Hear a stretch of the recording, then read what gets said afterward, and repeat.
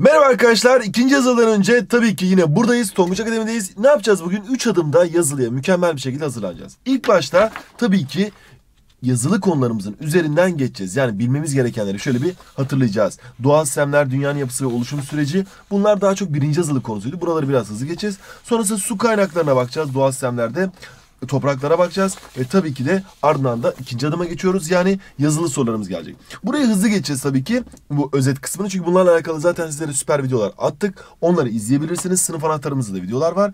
Sonrasında bu eşleştirme soruları, boşluk doldurma soruları, kuaternerde gerçekleşmemiştir. Çoktan seçmeli sorular, işte resimli sorular. Bayağı bir soru çözdükten sonra da direkt açık uçlu sorularda çözdükten sonra da artık ne yapacağız? Ödev kısmına geleceğiz. Burada tak coğrafyadan veyahut da işte sıfırdan ona coğrafya kitabımıza sizlere ödevler vereceğiz. Buralar da önemli. Niye? Çünkü burada da sizler için mükemmel konu hazırladık. Bunları da yine i butonuna tıklayaraktan e, nereden alabileceğinizi, hangi tonguç kitapçılarından alabileceğinizi öğrenebilirsiniz arkadaşlar. Şimdi o zaman hemen tekrar en başa dönüyorum ve birinci adımdan başlıyoruz.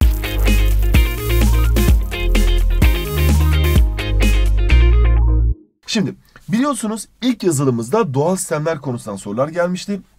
Dünyanın tektonik yapısı vardı. Dünyanın iç yapısında yer kabuğu vardı. İşte siyal, e, kıtasal kabuktu. Karaların altında kalın, denizlerin altında inceydi. Silisyum ve alüminyum oluşuyordu. Sima, silisyum ve magnezyumdan oluşup e, okyanusların altında kalındı. Manto tabii ki iç kuvvetlerin kaynağıydı. Üst kısımda astenosfer yer alıyordu. Eriyik haldeydi ve konveksiyonel akıntılar buradaydı. Çekirdekte tabii ki iç çekirdek ve dış çekirdek olmak üzere iki kısma ayrılıyordu. Demir ve nikelden oluştuğunu da bilmemiz gerekiyor.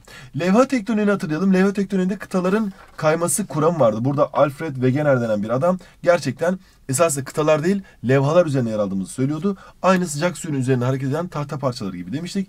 Burada tabii ki levhaların yaklaşmasıyla kıta kıta levhası yaklaştığında dağ oluşumu, okyanus okyanus levhası yaklaştığında hendek oluşumu, kıta okyanus levhası yaklaştığında da volkanik adalar oluştuğunu bilmemiz gerekiyordu. Levhaların uzaklaşması durumunda kıta kıta uzak, uzaklaştığı zaman yeni deniz ve okyanuslar, kıta okyanustan uzaklaştığı zaman volkanizmalar, okyanus levhası okyanus levhasından uzaklaştığı zaman da su altı volkanizması ve okyanus olduğunu bilmemiz lazım arkadaşlar. Burada levha tekniğinin kuramının neden olacağını da söyleyebiliyorduk. Tabii ki bir de jeolojik zamanlar vardı. Jeolojik zamanlarda birinci zamanda taş kömürü oluştuğunu mutlaka bilmemiz lazım. Niye hocam? E çünkü üçüncü zamanda da lignit oluşuyor. O zaman hangisi daha geç oluşuyor? E, üçüncü zamanda oluşuyor. Bu daha yeni. E, birinci zaman ise daha eski olmuş oluyor. Burada birinci zamanda Pangealar oluşmuş hatırlarsanız. Taş kömürü ve antresit yatakları. İkinci zamanda birazcık hazırlık dönemiydi. Üçüncü zamanda lignit, başka ne diyebiliriz? Bor, petrol, tuz yatakları, Himalayalar, Alpler, Antlar, Kayalık Dağları, Toroslar, Alp orojenezi bunların hepsi Türkiye'nin şekillenmeye başlaması 3. zaman. Bir de kuaternler günümüzdeki iklimler oluşuyordu. Buzul çağı sonrasında yaşanıyor. İlk insan Hazreti Adem ortaya çıkacak. Boğazlar, Marmara, Ege kıyısı falan bunlar oluşuyor. Epirojenez kıta oluşumuydu. Burada transgresyon ve regresyon kavramlarını iyi bilmemiz lazım. Orojenez ise dağ oluşumuydu. Orojenez ile alakalı her zaman sorulan bir şey vardı. Onu da şöyle bir boş kağıtta gösterelim. Şurası Türkiye ise şuralarımızda Kıvrım Dağlarımız var. Toroslar e, güneyde, e, Karadeniz Dağları kuzeyde. Bunlar e, orojenezde antiklinal ve senklinal yani kıvrımların oluşmasıyla ortaya çıkıyordu. Şu üstte kalan antiklinal, altta kalan senklinaldi. Fakat bir de Ege'de Horst ve Grebenlerden oluşan kırıklı kısım vardı. Burada Madra, Yunt, Boz, Aydın, Menteşe dağları Horst. Aşağıdaki Bakırçay, Gediz, Küçük Menderes, Büyük Menderesler ise Greben ovalarıydı arkadaşlar. Şimdi tabii ki e, Burada şunu iyi bilmemiz lazım. Epirojenezi nedenlerinde buzul oluşumu, buzul erimesi, tortullanma, aşınma, erozyon ve lav birikmesi önemliyken epirojenez sonuçlarında denizler ilerleyebiliyordu veya da geriliyordu. Veya da riya tipi kıyılar oluşabiliyordu. Seki veya taracı oluşabiliyordu. Plato oluşabiliyordu. Kara ve denizlerin alanı genişleyebiliyordu, değişebiliyordu. Niye? Deniz ilerlerse deniz genişleyecek. Kara ilerlerse, e, deniz gerilerse bu sefer e, kara genişlemiş olacaktı. Tabii ki volkanizma ve deprem de yine yeryüzünün hareket halindeki yerlerinde görülüyordu. Üç çeşit deprem vardı. Bir çöküntü depremi. Bu karstik arazilerde çok fazla insan öldürmeyen deprem. İki volkanik deprem vardı. Volkan patlamaları sonrası oluşan yer sarsıntıları. Bu da çok büyük zarar vermiyordu. Ama üçüncüsü ve en önemlisi tektonik depremler. Bunlar fay hatlarında magmanın konveksiyonel baskı nedeniyle tabakaları yer değiştirmesi sonucu oluşuyordu. Bu da bizim bildiğimiz deprem. Bizim bildiğimiz depremle alakalı şunu da bilelim. Böyle Hatay'dan alıp Van Gölü'ne sonra bu taraftan şöyle e, Ege'deki e, bu Horst Graben alanlarında söylediğimizde e, Türkiye'nin deprem haritası oluşuyordu. Burası Doğu Anadolu fay hattıydı. Kuzey, yukarıdaki Kuzey Anadolu fay hattıydı. Batı Anadolu'daki de ise Batı Anadolu fay hattıydı arkadaşlar. Gelelim kayaç döngüsüne. Burada magmatik kayaçlar vardı. Tortul sedimenter kayaçlar var. Ha burada şeyi de kaçırmayalım tabii ki. Nedir onun adı? Volkanizmayı. Volkanizma ile alakalı lakolit, dike, batolit, sil, krater, kaldera, mağar. Bunlar e, tabii ki de e, volkanizma ile alakalı bilmemiz gereken terimlerdi. Bunlardan e, yüzey volkanizmasında lav, tüf, lapilli, volkan bombası ve kül vardı.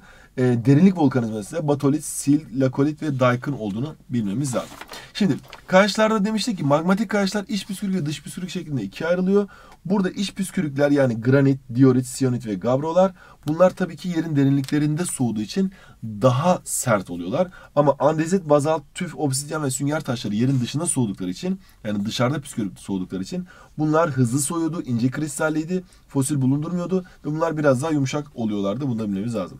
Tabii bir de tortul kayaçlar vardı. Yeryüzündeki çukur alanlarda, boşluklarda fiziksel, e, kimyasal ve organik tortul taşlar birikebiliyordu. Fiziksel tortul taşlarda yani mekanik tortul taşlarda kum taşı, kil taşı, e, çakıl taşı yani konglomera deniyor buna oluşabiliyordu. Bunlar tabakalı yapıdaydı ve fosiller vardı içerisinde. Mesela magmatik taşlarda granit ve andesite asla fosil bulunmuyordu.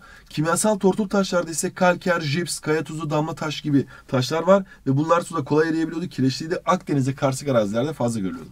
Organik tortulu mutlaka soracaklardır size. Bu da mercanliği, turba, taş kömürü, tebeşirden oluşan canlı kalıntıların olduğu ta- taşlardı. Baş kalaşım taşlarda bütün bunların yüksek sıcaklık ve basınç altında değişmesiyle oluşuyordu. İşte kalkerin baş kalaşmasıyla mermer, granitin baş kalaşmasıyla da gnais olduğunu veyahut da kil taşının başkalaşmasıyla şist, kum taşının başkalaşmasıyla kuvars olduğunu bilmemiz lazım. Türkiye'de iç kuvvetlerin alanlarını tabii ki bileceğiz. Türkiye'nin deprem haritasını bilmemiz lazım. Bunu az önce göstermiştik. Türkiye'de e, kırıklı alanlar işte bu Kaz Dağı, Madra, Yunt, Boz, Aydın Dağları yani Hors bölgeleri vardı. Türkiye'deki masif araziler yani yaşlı alanları da şöyle bize soracak olurlarsa bakın şöyle bir Türkiye haritası üzerinde şöyle bir gösterelim. Masif arazi ne demek? Yaşlı arazi demek. Hareket halinde olmayan arazi demek. Bu arazilerde tabii ki de deprem riski hiç yok denecek kadar az. Mesela Yıldız Dağları masif araziydi. Kaz Dağı, Menteşe, Alanya, Anamur, başka nereye gidebiliriz? Mardin Eşiği, Kırşehir, Zonguldak, e, Kastamonu'daki bu masif alanlar, Bitlis. Buralarda deprem riski yoktu arkadaşlar. Şimdi ee, dış kuvvetlerde tabii ki kütle hareketleri, akarsular, rüzgarlar, karslaşma, buzullar, dalga akıntılar var. Burası esas konumuz olacak tabii ki. Burada e, şunu bilmemiz lazım. Birincisi e, iç şunu da hatta şöyle gösterelim bakın. Bunu tam olarak sınavda size böyle soracaklar. O yüzden bir tane boş kağıt alayım. Bunu e, sınavda çıktığı zaman sakın sakın patlamayın şöyle. Şimdi dış kuvvetleri şöyle yazalım. Bakın hatta bu tablo yapalım. Bunu da SS alın. Sınavda tam da karşınıza bu çıkacak. Dış kuvvetlerde Biraz uzun sürecek burası ama dikkatli dinlerseniz tam da sınavda burasını görürseniz şak diye mutlaka yüzde yüze yakın bir soru gelme ihtimali var. Şimdi dış kuvvetlerde bir aşındırma kuvvetleri var. Bir kütle aşınım, bir de kütle biriktirme şekilleri var. Şimdi şöyle söyleyelim. E, hatta şöyle yapalım bakın. E, şunlar terim olsun tamam mı? Şunlar aşınım şekilleri olsun. Şunlar da birikim şekilleri olsun. Tamam mı? Aşının birikim şekilleri olsun. Sonra geçiyorum. Burada ilk başta akarsularla başlayalım. Tamam mı? Akarsularda ilk başta bilmemiz gereken şey ne? Tabii ki kaynak. Akarsuyun doğduğu yere biz kaynak diyorduk. Bunlar terimler. Sonra döküldüğü yere biz ağız diyorduk. Aynı zamanda suların aktığı bölge, suların topladığı bölgeye biz havza diyorduk. İki bölüm birbirine ayıran kısma, iki havza birbirine ayıran kısma da su bölümü çizgisi diyorduk. Burası önemli bir. Sonrasında rejim vardı. Akarsu rejimi eğer akarsu düzenli akıyorsa düzenli rejim, düzensiz akıyorsa düzensiz rejimli oluyordu. Denge profili vardı. Akarsuyun yatağının artık düzleşmesi olayıydı. Eğer eğimli bir yerde akıyorsa denge profiline ulaşmamıştı. Eğimsiz bir yerde akıyorsa denge profiline ulaşmıştı. Bunlar akarsu alakalı bilmemiz gereken en önemli terimler. Bir de debi vardı. Bu da akarsuyun herhangi bir kesitinden bir saniyede geçen suyun metreküp cinsinden değeriydi. Şimdi akarsu aşınım şekillerini söylüyorum. Birincisi vadiler vardı. Vadiler Çentik Vadi, Boğaz Vadi, Kanyon Vadi, Tabanlı Vadi, Asimetrik Vadi gibi isimler yer alabiliyor. Bunların şekillerinden de size hoca sorabilir. Şöyle ki Boğaz Vadi U şeklinde oluyor. Çentik Vadi V şeklinde oluyor. Kanyon Vadi böyle basamaklı basamaklı oluyor. Ne bileyim e, geniş tabanlı vadi yani tabanlı vadi böyle yaygın oluyordu. Asimetrik vadinin bir tarafı çok aşınamamışken bir tarafı çok aşınabiliyordu. Bunları bileceğiz.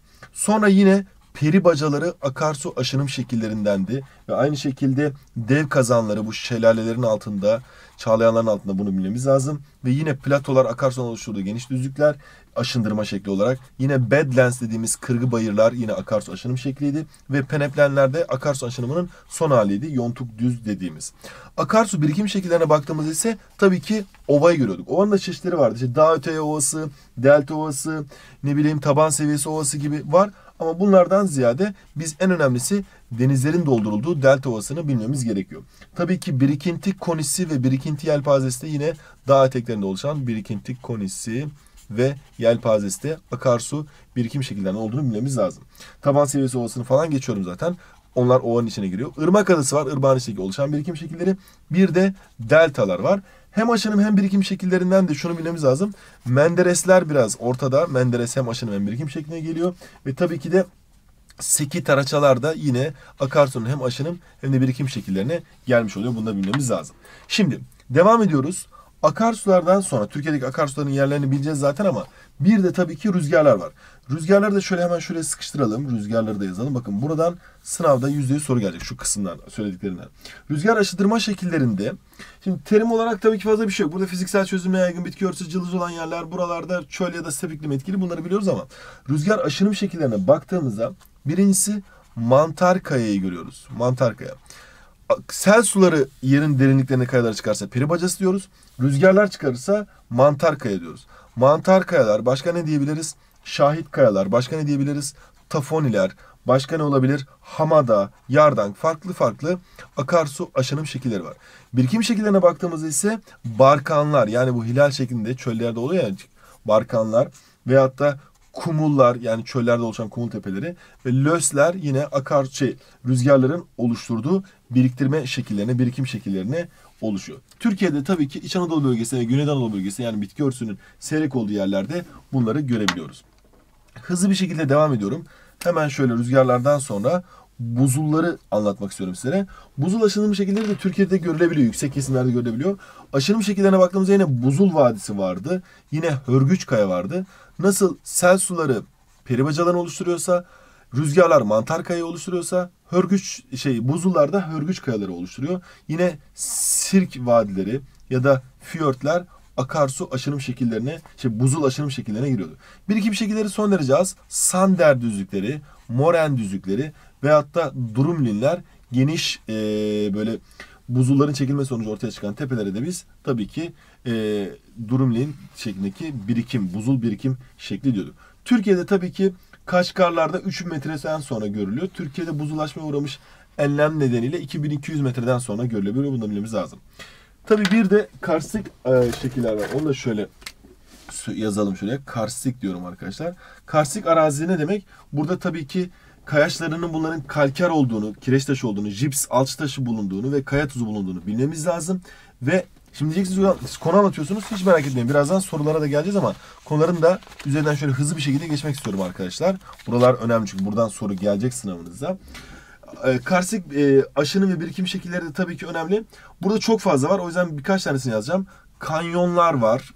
Başka ne diyebiliriz? Obrukları söyleyebiliriz. İşte Lapya, Uvala, Dolin bunlar hatta büyükten küçüğe sıralayacak olsa Lapya, Dolin, Uvala, Polye bunlar karstik aşındırma şekilleri. Birikim şekillerine baktığımızda ise travertenler Pamukkale'de gördüğümüz sarkıt, dikit ve sütunlarda yine önemli karstik birikim şekilleri. Karstik şekillerden başka Türkiye'de tabii Türkiye'de tabii ki Akdeniz'de görülüyor çok fazla Taşeli ve Teke platosunda. Dalga ve akıntı şekillerini de söyleyelim ve artık bu kısımdan bitirelim diyoruz. Şöyle dalga ve akıntı şekillerine baktığımızda burada tabii ki dalgaların aşındırma şekillerine baktığımızda falez yani yalı yarı bilmemiz lazım. E, biriktirme şekilleri daha fazla. Burada lagünler var. Hani küçük çekmece, büyük çekmece gibi. Tombolo dediğimiz işte Kapıdağ Yarımadası gibi adalardan oluşan adayı tombala yapıyor, yakalıyor. Veyahut da kıyoklarımız var. Fethiye, Ölüdeniz'e görebileceğimiz. Başka ne diyebiliriz? İşte plajlar, kıyı setlerini söyleyebiliriz. O zaman bunlar Türkiye'deki veya dünyada görülen başlıca e, akarsu, rüzgar, karşılaşma, buzul ve dalga ve akıntı şekilleri. Burası gördüğünüz akarsu, rüzgar, buzul, karstik ve dalga. Bunlar aşınım şekilleri, bunlar da birikim şekilleri. Bu tabloyu zihninizde ve kağıdınızda bulundurursanız çok rahat sınavda birçok şeyi rahatlıkla yapabilirsiniz. Şimdi Türkiye'dekilerine değinmiştik zaten. Su kaynakları olarak okyanuslar, denizler, göller, akarsular, yeraltı suları ve kaynakları görüyoruz. Bunlarla alakalı şimdi birazdan bol bol sorular çözeceğiz.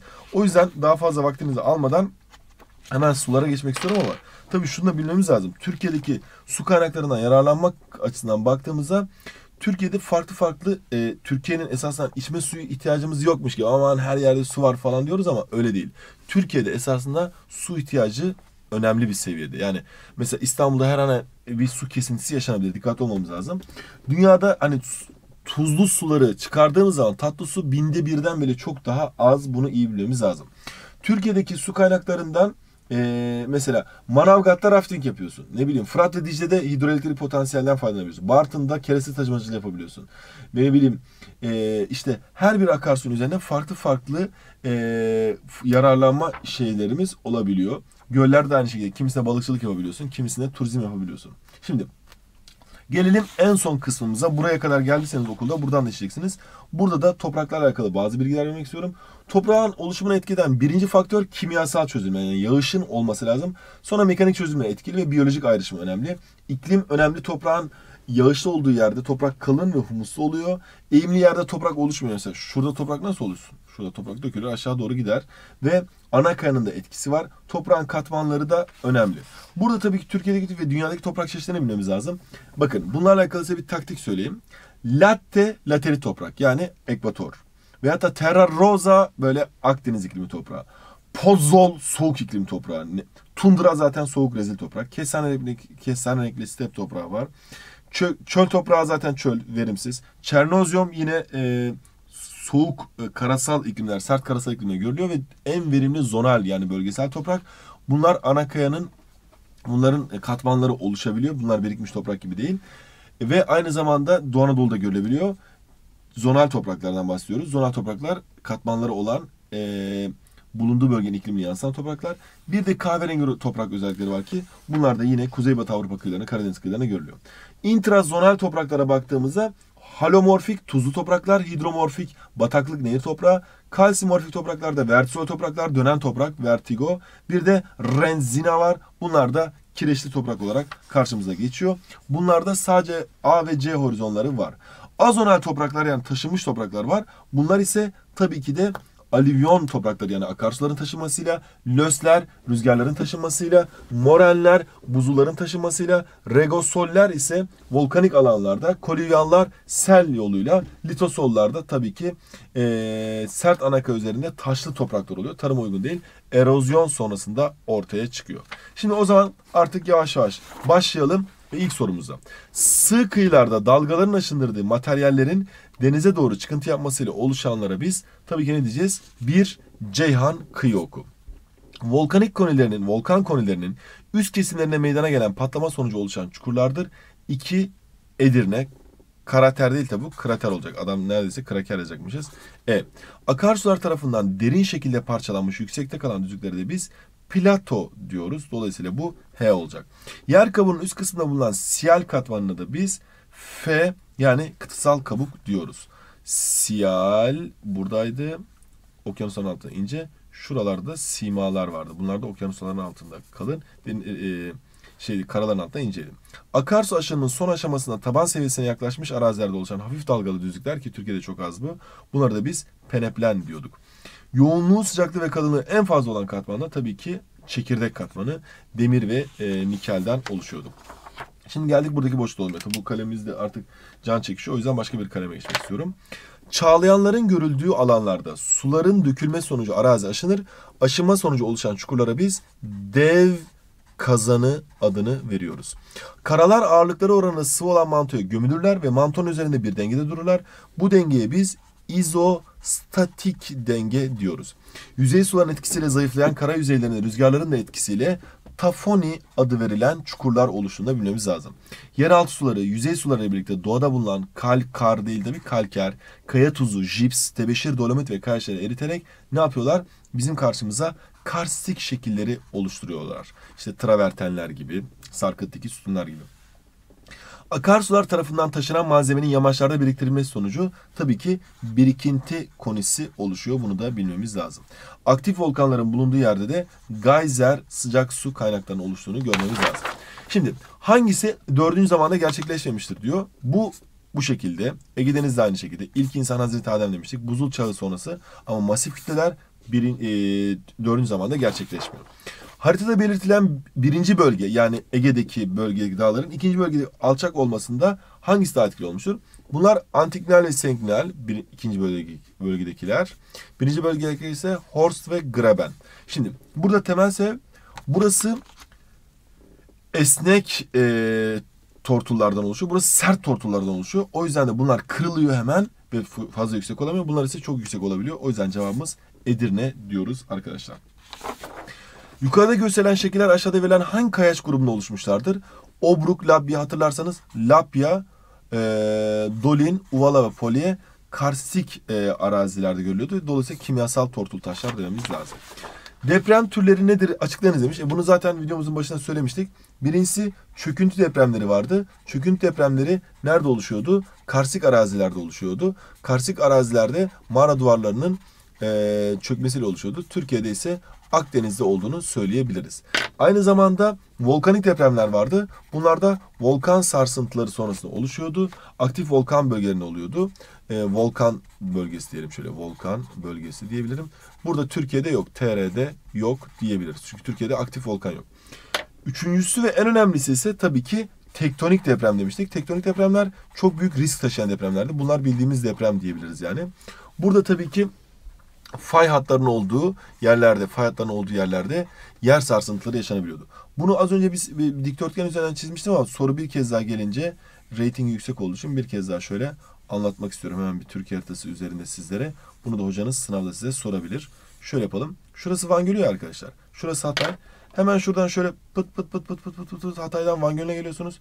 Şöyle Marmara'dan hop hop hop hop hop, hop Van Gölü'yle birleştiriyorsunuz. Sonra Ege'yi de böyle böyle böyle yapıyorsunuz. Bu yukarısı kuzey olduğu için Kuzey Anadolu fay hattı. Aşağısı doğu olduğu için Doğu Anadolu fay hattı. Burası batı olduğu için Batı Anadolu fay hattı Türkiye'nin deprem riski haritası olmuş oluyor. Onun haricindeki yerler yani Konya, Mardin, Taşeli Platosu, Teke Yarımadası, Kastamonu, buralar Rize, buralarda deprem riski yok. Yıldız Dağları, buralarda deprem riski yok. Eprojenez nedir açıklayınız. Eprojenez karaların ağırlığı sonradan değişirse izostatik denge bozularak ya alçalma ya da yükselme oluşuyor. Karalar ağırlaşıp alçaldığında deniz ilerlemesi, karalar hafifleşip yükseldiğinde deniz gerilemesi oluyor. Bunu da bilmemiz lazım. Yani şöyle düşünün. Şöyle bir kara çizelim tamam mı? Şöyle de deniz çiziyorum. Şöyle tamam mı? Eğer karaların üzerinde böyle bir ağırlık oluşur da işte e, ne bileyim e, volkan patlamaları sonrasında böyle akarsular böyle daha akarsular aşınılmadığı için e, bir ağırlık oluşursa buzul birikme sonrasında mesela burada ne olacak? Kara ağırlık yapacak ve bu sefer deniz ilerleyecek. Ama kara hafifledi diyelim ki ne oldu? Buzullar eridi veyahut da işte akarsular vadelerine eritti bu ovalar denizlere döküldü. Bu sefer ne olacak? Kara hafifleyecek. Bu sefer ne olacak? Eee Kara için kara yükselecek bu sefer de deniz gerilecek. Denizin gerilemesine biz regresyon, ilerlemesine de transgresyon diyoruz. Fiziksel tortul taşlar nelerdir? Bunu söylemiştik bir kez daha söyleyelim. Kum taşı, mil taşı, e, kil taşı, çakıl taşı ve tabii ki de e, konglomera dediğimiz bu taşlar. Bu taşlar tabakalı yapıdalar ve fosiller yaygındır, dirensizler. Şimdi şu doğru yanlışlara da bakalım. Ne demiş? İzostatik dengenin bozulması sonucu yükselerek oluşan kara parçasına jeoantiklinal denir. Doğru. Sirk buzulların açtığı çukurlardır. Doğru. Esnekliğini yitirmiş sert yapıdaki tortul tabakalar yan basınçlara uğradıklarında kırılmaya uğrar ve kıvrımlı değil kırıklı dağlar oluşturur. Burası yanlış. Enine ve boyuna kıyı tipi Türkiye'de görülür. Doğru. Şurası önemli bakın. Şu Türkiye haritasını dikdörtgen olarak düşün. Ege'de enine kıyı var.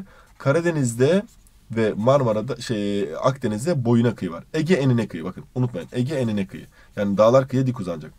Beşe bakalım. Dağların zirvelerinde balık fosillerinin rastlanması zamanında deniz dibinde olan tortuların kıvrılarak yükseldiğini kanıtlar. Doğru. Antalya'daki arkada bulunan Toros dağlarının üzerinde balık fosilleri buluyorlar. What the hell is going on? Nasıl oluyor diyorlar. Bunun temel sebebi tabii ki de tortuların yükselip yukarıda kalması. Yani denizaltındaki tortular yükseliyor ve dağlar oluşuyor. Balıklar da yukarıda kalıyor. Rüzgarlar ılıman ve yağışlı iklim bölgelerinde etkileri belirgin olarak görülen bir dış kuvvettir. Bu yanlış. ılıman ve yağışlı değil. Aksine soğuk ve kurak yerlerde görülüyor. O zaman şimdi gelelim ödev kısmımıza. Sıfırdan 10'a coğrafyada konu altımız soru bankamız arkadaşlar. Burada az önce anlattığımız konularla alakalı toprak konusuna da geldiyseniz diye buralara da değindik ama sınavda buranız yoksa e, hiç endişelenmeniz gerek yok. Bakın tüm hepsiyle alakalı dalga ve akıntı şekilleri, kıyı tipleri, kütle hareketleri, Türkiye'de dış kuvvetler, dağlar hepsiyle alakalı size mükemmel konu hazırladık. Burada mutlaka e, işlediğiniz yere kadar kısımdan çalışın diyoruz sıfırdan ona coğrafyadan. Ve yine tak coğrafyada da bunları iyi butona tıklayaraktan ulaşabilirsiniz arkadaşlar bu arada. Burada yazılı örneklerimiz var. Yazılı örneklerimizden de çalışıp direkt yazılınıza test yöntemleriyle çalışabilirsiniz. Veyahut da burada olduğu gibi şurada göstereyim bakın mesela. Nerede? Jeoloji zamanlar nerede? Hemen şurada yazılı gösterelim bir tane. Bir dakika. Ha, burada. Burada olduğu gibi burada bu beşeri sistemlermiş. Şuraları biraz geri geçelim. Ben tabii birazcık heyecanlıyım şu anda. Arkadaşlar başarılı olsunlar istiyorum. Doğal sistemlerde olduğu gibi işte dış kuvvetlerin kaynağı, işte mantodaki konveksiyonel akıntılar burada olduğu gibi sayfa 102'deki gibi sorular, yazılı soruları çözebilirsiniz. Ya da direkt bölümlerle alakalı test sorularımız var. Tak taramalar, işte dünya yapısı ve oluşum süreciyle alakalı, platolarla alakalı bunları da çözerekten sınavınıza mükemmel bir şekilde hazırlanabilirsiniz. Bunları i butonuna tıklayaraktan Türkiye'deki size yakın kırtasiyelerden alabilirsiniz. Zaten buradaki sorularda da takıldığınızda soruları uzman hocalar size tane tane anlattığı için iyice pekiştirmiş oluyorsunuz. Hadi bakalım. Sınavlarınıza başarılar. Unutmayın. En iyi sınav bitmiş sınavdır arkadaşlar. Ödüllü sorumuzu yapın. Yorumlara yollayın arkadaşlar.